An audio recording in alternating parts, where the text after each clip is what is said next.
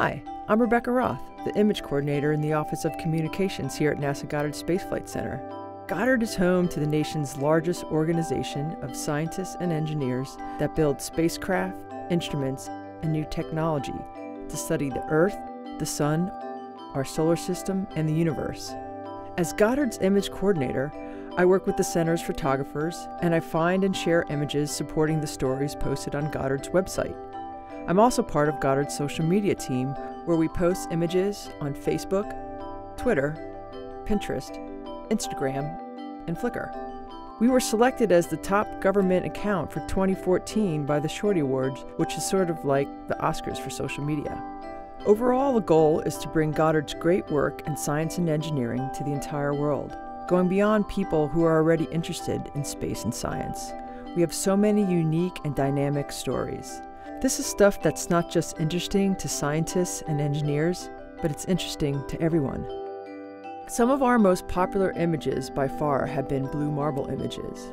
Images that show the Earth, the full Earth, from space. There's something special about seeing Earth as if you were standing on Mars, or seeing the Earth from the moon the way NASA astronauts have seen it.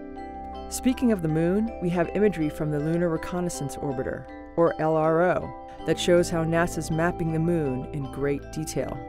And who doesn't love a giant CME? Images from our fleet of spacecraft that stare into the sun are wildly popular as well.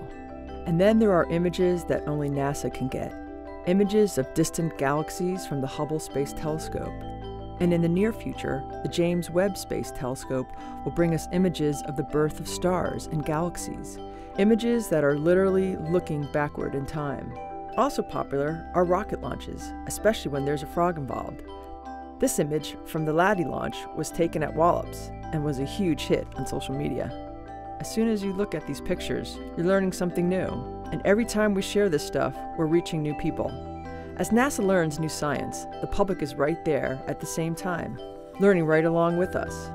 As we share new data, new science, and new discoveries, we have amazing stories to tell, but we're even luckier because we have great imagery to use in our storytelling.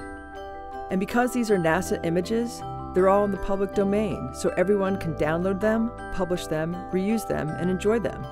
So if you like what you've seen and you want to see more, come check us out online.